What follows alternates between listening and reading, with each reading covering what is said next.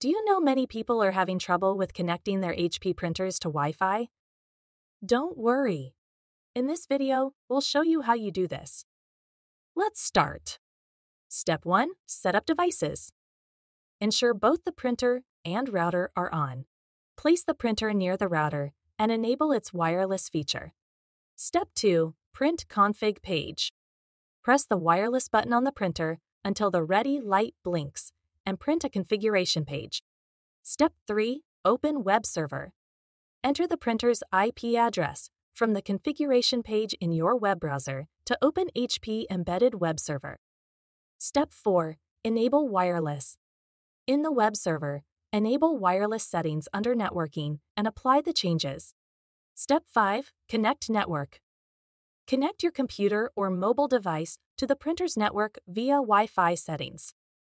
By following these steps, you should now be able to connect your HP LaserJet Pro M15W to your Wi Fi network. Still need help?